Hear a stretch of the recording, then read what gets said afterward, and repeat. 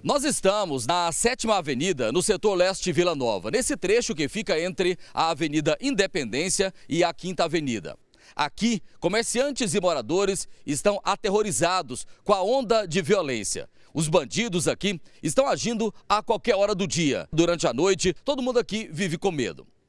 A situação é tão séria que imagens como essa aqui de moradores da porta de casa é, tem sido cada vez mais difícil de se ver. O pessoal está aqui porque nós viemos aqui para conversar com os moradores. Mas sair na porta de casa aqui já está muito perigoso. É muito perigoso. Aqui nós não podemos sentar aqui, nós não podemos ir no supermercado.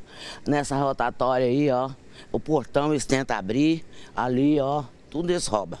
Essa senhora estava me contando que, além dos assaltos, os arrombadores também estão agindo muito aqui. No seu portão já tentaram abrir várias vezes. Várias vezes. Essa casa do lado. Nessa porta do bar aí, eles aborda, rouba, os motoqueiros.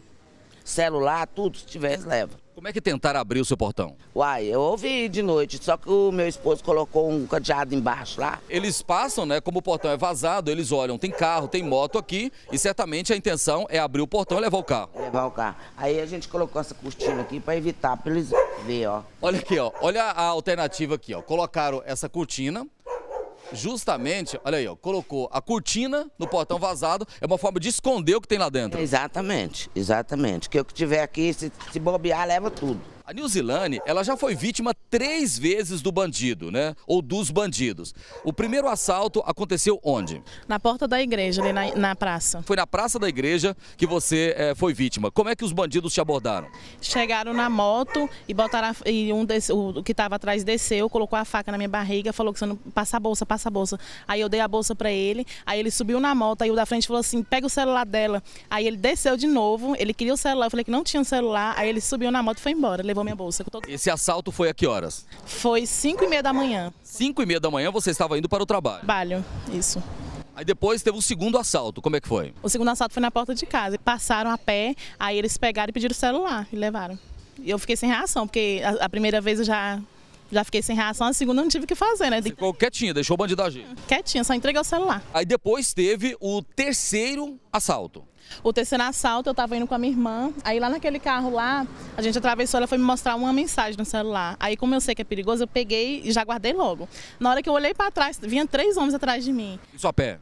Ah, isso, a pé. Aí eu tentei correr. Na hora que eu tentei correr, eles correram primeiro. Aí eles pegaram, me cercaram, minha irmã ficou assim, meio de lado. E eles pegaram e passa, falaram, passa o celular, passa celular. Aí eu entreguei o celular, falei, toma. Aí ele pegou, me empurrou pro lado da parede e correram pra cá. Aí entraram no carro e foram embora. Então você foi vítima três vezes? Três vezes. Sua mãe estava até dizendo que você tá com uma espécie de, de depressão, pânico. Eu tomo remédio pra, pra depressão. Pra... Por causa é, desses assaltos, você acabou é, tendo que recorrer a medicamento? Isso. Eu não posso ver uma moto. Eu ver um, um homem passando na moto olhando pra mim, eu já corro pra dentro de casa. Já começa, o coração dispara. Isso, já corro pra dentro de casa, já grito, faço um alarme.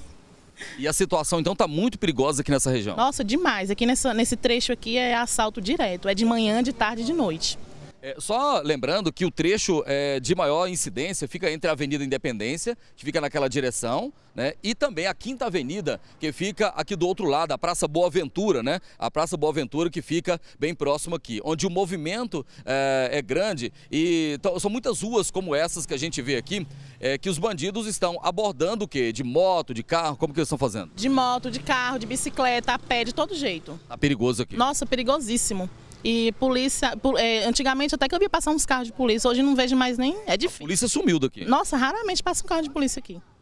E hoje em dia todo mundo tem que recorrer a portões altos, muros altos, para ver se consegue evitar. É, eu tive ali, o ladrão pulou ali, ó, até coisou ali o portão. Eu tive que, eu tive que pegar um cachorro para poder colocar aqui, porque eu não, eu não consigo dormir a noite toda, eu fico no pé da janela olhando para ver se não tem ladrão. Durante o dia ou durante a noite não tem horário para o bandido agir? E corre, eles vêm mais assim, de 4 para 6 horas da manhã. Quando o pessoal está saindo para a escola ou para o trabalho? É, pela manhã mais cedo, é mais rápido. Eles abordam a pessoa aqui na calçada e levam o que pode. Assaltou a mulher bem aqui, meu filho, na porta. Ó. Então a mulher estava aqui bem aqui na porta da senhora. O meu filho ia sair, não, não pôde fazer nada. Ele desarmado. Exatamente aqui na calçada. Aqui, ó, ele parou de bicicleta, tomou tudo da bichinha. Ela o bandido estava de bicicleta? E ela fi, vinha trabalhar a pé, chegou aí, tomou tudo, ela foi embora chorando, caladinha. E nós não pôde fazer nada.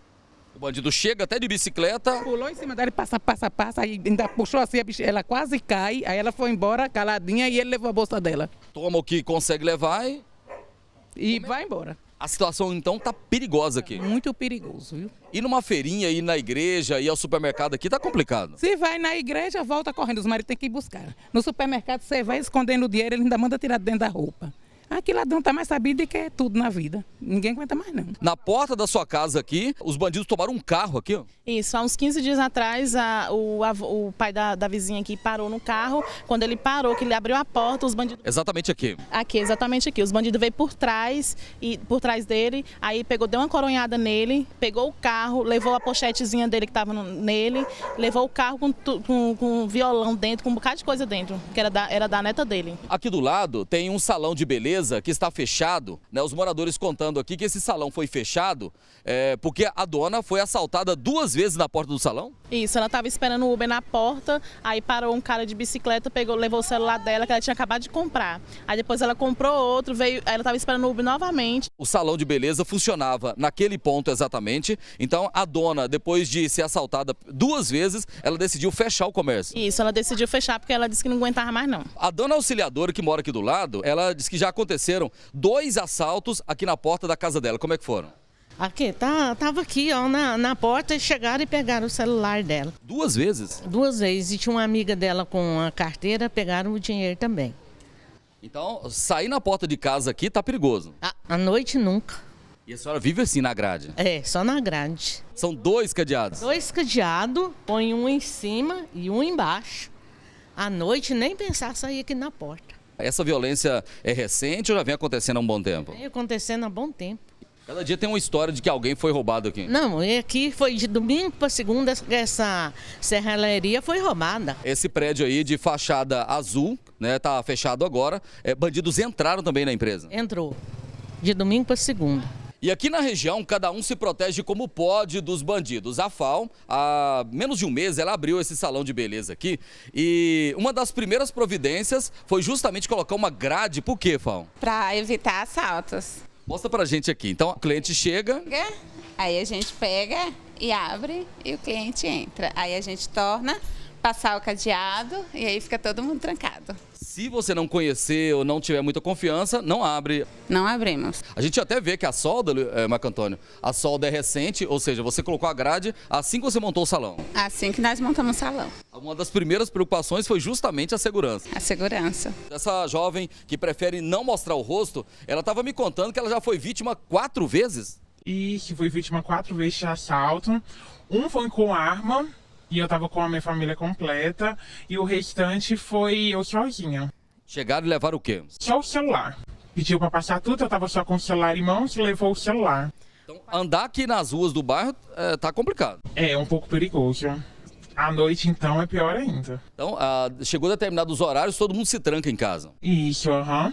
Depois das nove, oito horas, é mais complicado. E assim, a polícia não passa? Como é que vocês se sentem em relação à segurança pública? Algumas vezes a gente vê algumas polícias na rua, mas só depois das 10 horas, 11 horas. Mas durante o dia mesmo a gente não vê nenhum tipo de polícia.